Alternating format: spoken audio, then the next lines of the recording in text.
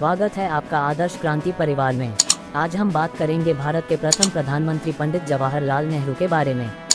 पंडित जवाहरलाल नेहरू का जन्म 14 नवंबर अठारह सौ नवासी को इलाहाबाद में हुआ था। उन्होंने अपनी प्रारंभिक शिक्षा अपने घर पर निजी शिक्षकों से प्राप्त की। पंद्रह साल की उम्र में वे इंग्लैंड चले गए और हैरो में दो साल रहने के बाद उन्होंने कैम्ब्रिज विश्वविद्यालय में प्रवेश लिया, जहाँ से उन्होंने प्राकृतिक विज्ञान में स्नातक की डिग्री प्राप्त की। 1912 में भारत लौटने के बाद वे सीधे राजनीति से जुड़ गए। यहाँ तक कि छात्र जीवन के दौरान भी वे विदेशी हुकूमत के अधीन देशों के स्वतंत्रता संघर्ष में रुचि रखते थे। उन्होंने आयरलैंड में हुए सिंफेन आंदोलन में गहरी रुचि ली थी। उन्हें भारत के स्वतंत्रता संग्राम में अनिवार्य रूप से शामिल होना पड़ा। 1912 में उन्होंने एक प्रतिनिधि के रूप में बांकीपुर सम्मेलन में भाग लिया एवं 1919 में इलाहाबाद के होम रूल लीग के सचिव बने। 1916 में वे महात्मा गांधी से पहली बार मिले जिनसे वे काफ़ी प्रेरित हुए। उन्होंने 1920 में उत्तर प्रदेश के प्रतापगढ़ ज़िले में पहले किसान मार्च का आयोजन किया। 1920-22 के असहयोग आंदोलन के सिलसिले में उन्हें दो बार जेल भी जाना पड़ा। पंडित नेहरू सितंबर 1923 में अखिल भारतीय कांग्रेस कमेटी के महासचिव बने।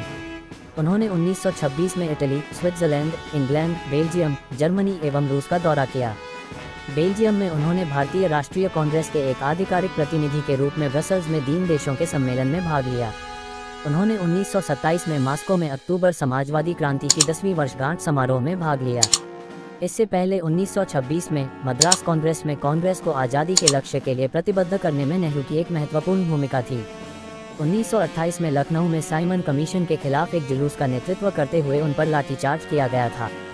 29 अगस्त 1928 को उन्होंने सर्वदलीय सम्मेलन में भाग लिया एवं वे उन लोगों में से एक थे जिन्होंने भारतीय संवैधानिक सुधार की नेहरू रिपोर्ट पर अपने हस्ताक्षर किए थे। इस रिपोर्ट का नाम उनके पिता श्री मोतीलाल नेहरू के नाम पर रखा गया था। उसी वर्ष उन्होंने भारतीय स्वतंत्रता लीग की स्थापना की एवं इसके महासचिव बने। इस लीग का मूल उद्देश्य भारत को ब्रिटिश साम्राज्य से पुनर्तः अलग करना था।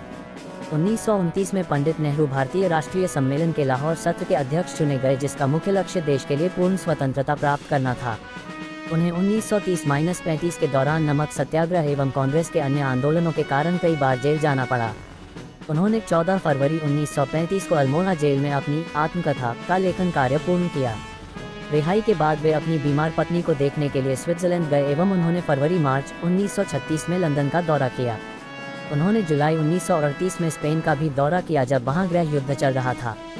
द्वितीय विश्व युद्ध शुरू होने से कुछ समय पहले वे चीन के दौरे पर भी गए। पंडित नेहरू ने भारत को युद्ध में भाग लेने के लिए मजबूर करने का विरोध करते हुए व्यक्तिगत सत्याग्रह किया, जिसके कारण 31 अक्टूबर 1940 को उन्हें गिरफ़्तार कर लिया गया। उन्हें दिसंबर 1941 में अन्य नेताओं के साथ जेल से मुक्त कर दिया गया। 7 अगस्त 1942 को मुंबई में हुई अखिल भारतीय कांग्रेस कमेटी की बैठक में पंडित नेहरू ने ऐतिहासिक संकल्प, भारत छोड़ो, को कार्यान्वित करने का लक्ष्य निर्धारित किया। 8 अगस्त 1942 को उन्हें अन्य नेताओं के साथ गिरफ़्तार कर अहमदनगर किला ले जाया गया। यह अंतिम मौका था जब उन्हें जेल जाना पड़ा एवं इसी बार उन्हें सबसे लंबे समय तक जेल में समय बिताना पड़ा। अपने पूर्ण जीवन में वे नौ बार जेल गए। जनवरी 1945 में अपनी रिहाई के बाद उन्होंने राजद्रोह का आरोप झेल रहे आईएनए के अधिकारियों एवं व्यक्तियों का कानूनी बचाव किया। मार्च 1946 में पंडित नेहरू ने दक्षिण पूर्व एशिया का दौरा किया। 6 जुलाई 1946 को वे चौथी बार कांग्रेस के अध्यक्ष चुने गए एवं फिर उन्नीस से उन्नीस सौ चौवन तक तीन और बार वे इस पद के लिए चुने गए।